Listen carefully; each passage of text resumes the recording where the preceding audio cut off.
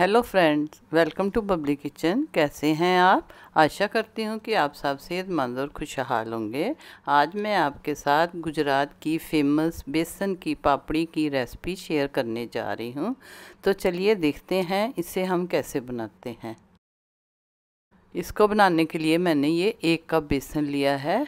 बेसन को सबसे पहले हम छान लेंगे। बेसन को छानना ज़रूरी है ताकि इसके अंदर कोई गुठली या कोई चने का दाना दूना रह जाएगा तो वो सारा बाहर रह जाएगा। ठीक है, ये बेसन हमने छान लिया है। अब हम इसमें आधा चम्मच नमक, सेंधा नमक है, वन फोर्थ चम्मच बेकिंग सोडा, एक चम्मच कुकिंग ऑयल, इसको डाल के सारा मिक्स कर लेंगे। बिल्कुल हल्के हाथ से इसको मिक्स करना है। अब हम इसमें ये आधा कप मैंने पानी लिया है थोड़ा थोड़ा करके इसको पानी डालेंगे और इसकी एक पेस्ट सी तैयार कर लेंगे, स्मूथ सी। थोड़ा थोड़ा ही पानी डालना है ताकि ये ज़्यादा पतला ना हो जाए।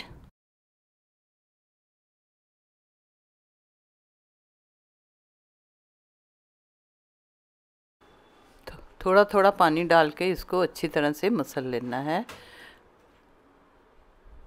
कम से कम इसको पाँच मिनट आपने अच्छी तरह मसलना है ताकि इसका कलर भी लाइट हो जाएगा और ये बिल्कुल स्मूथ पेस्ट बन जाएगी। और बेसन का रंग भी थोड़ा हल्का हो जाएगा, लेकिन थोड़ा थोड़ा करके एक एक चम्मच करके आप पानी डाल लें इसमें।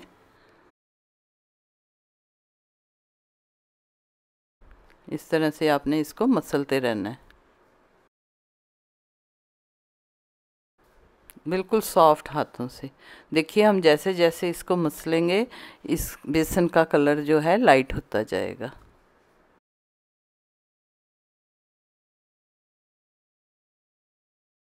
पाँच से छः मिनट तक इसको मसल लें। बस अब हम इसको इकट्ठा कर लेंगे। इस तरह से स्प्रेचुला से सबको बीच में ले आए बेसन को। इकट्ठा कर लें, थोड़ा सा फिर मसल लें। अब देखिए, आपको कलर दिख रहा है कि इसका कलर जो है थोड़ा सा लाइट हो गया है। अच्छी तरह से इसको फेंटें, इस तरह हाथ से, जब तक इसका कलर जो है लाइट नहीं हो जाता। बिल्कुल स्मूथ बन जाएगी पेस्ट इसकी। अब इसको इकट्ठा कर लेते हैं। ये देखिए, इकट्ठा हो गया। थोड़ा सा हल्का सा पानी का छीटा डाल देंगे, ताकि ऊपर से ये सॉफ्ट रहे, इसकी पपड़ी न बने। तब तक हम कढ़ाई के अंदर तेल गरम करने के लिए रख देते हैं। ये ये हमने सेव मेकर मशीन ली है, जिसके अंदर से हम इस तरह की ये मोल्ड लिया है, जिसमें हम आराम से पापड़ी बना सकते हैं। ये मशीन जो है, आराम से बाज़ार से आपको दुकान से मिल जाती है, बर्तन वाली दुकानों से। तो इस तरह से हमने ये मोल्ड लेना है और इसको हमने तेल से ग्रीस कर लेना है। मशीन को भी अंदर से हम ग्रीस कर लेंगे इसी तरह से। सारी साइड से। ये देखिए, इधर से भी साइड से ऊपर से मिला देंगे, जिसको हम इस तरह से ग्रीस कर लेंगे। अब इसके अंदर ये मोल्ड डाल दिया मैंने। अब स्पैचुला की सहायता से जो हमने बैटर तैयार किया था, पेस्ट तैयार की थी, सॉरी, वो हम इसके अंदर आराम से डाल देंगे इस तरह। इस तरह की कंसिस्टेंसी होनी चाहिए। देखिए, ये बहुत पतली भी नहीं है और बहुत गाढ़ी भी नहीं है।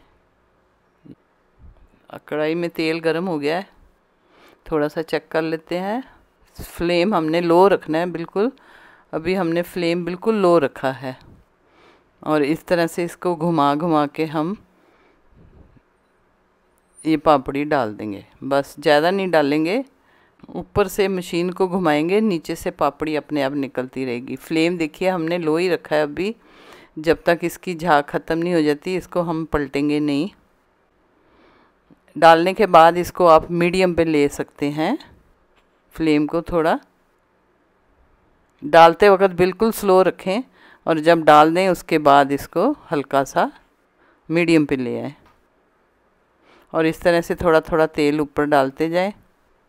फ्लेम आपने लो ही रखना है। अगर आप फ्लेम लो रखेंगे, तभी ये आपकी पापड़ी जो है, हल्के कलर की बनेगी। नहीं तो फिर डार्क हो जाएगी, उसका फिर वो स्वाद नहीं रहेगा। अब देखिए, इसको हम पलट देते हैं। दूसरी साइड से भी इसको पका लेते हैं इसी तरह से। जितनी आराम से आ सकती हैं कढ़ाई में, आप उतनी ही डालें इसमें। देखिए, बिल्कुल हल्के सेक पे पक रही है ये। दो तीन मिनट लग जाते हैं पकने में, ज़्यादा टाइम नहीं लगता। दो तीन मिनट में ये पक जाती तीन मिनट में। अब देखिए, इसको हम एक प्लेट में निकाल लेंगे इसके अंदर एक टिश्यू पेपर रख दिया है ताकि जो एक्स्ट्रा तेल है, वो ऑब्ज़र्व कर ले। अब इसी तरह से मैं एक बार और आपको दिखा रही हूँ। फिर बना रहे हैं, इसी तरह से। ये देखिए, इसको घुमाते रहेंगे और ये देख, बस। फ्लेम हमने लो ही रखा है। जब तक इसकी झाग ख़त्म नहीं होती, तब तक इसको हम पलटेंगे नहीं। हल्के सेक पे इसको पकने देंगे।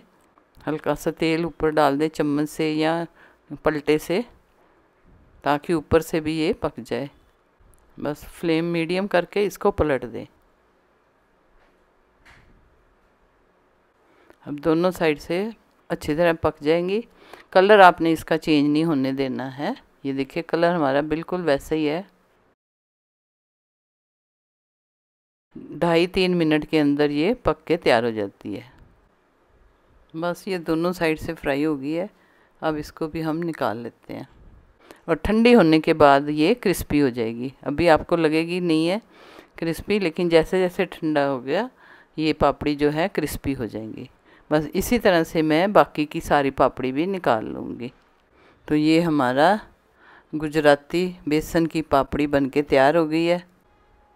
हम तीन से चार हरी मिर्चों को भी फ्राई कर लेंगे और इसको हरी मिर्च के साथ खाया जाता है और साथ में एक ख़ास तरह की चटनी होती है। या मसाला डाला जाता है इसके ऊपर। अगर आपको मेरी ये रेसिपी अच्छी लगती है तो आप मेरे चैनल को लाइक शेयर एंड सब्सक्राइब करें और अपने कमेंट्स मेरे साथ शेयर ज़रूर करें।